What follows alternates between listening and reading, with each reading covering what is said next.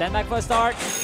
They're off in Division 6. It is the seventh race of the afternoon on 1,003.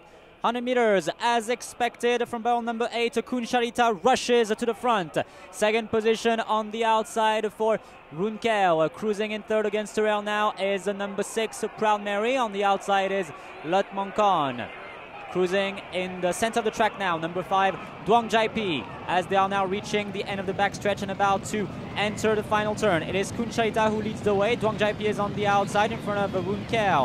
Proud Mary is next in front of Kunolanat. Next follows Lut Monkon in front of Santali. Tail of the field currently for Duong Siripon. Mid-final turn. The positions haven't changed now. It is still Kun Sharita who leads the way. The second position is qualified between Proud Mary, Roongkeaw, and Duong Jaipi. Cruising in fifth now, number four Kunolanat with Lat Monkon, Duang Sipon on the outside and Santali at the tail of the field. As they enter the final stretch now with 400 meters left to travel. It is Proud Mary who has now taken the lead against Terrell, but here comes Kunchaita who is not giving up. Roongkeaw is also going very easily for Santibab in the center of the track. Kunolanat on the outside and here comes Duang Sipon for Achawen against Terrell. We see Santali tail of the field for Lat Monkon and number five Duang Jaipi, but there is no opposition today. No race even, no race for Roongkeaw who is going to win very easily and beat home a number 4 Kun Olanat in front of number 6 of Proud Mary.